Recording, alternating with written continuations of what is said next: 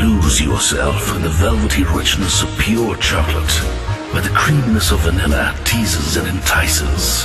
Oh, more Chocolate Temptation.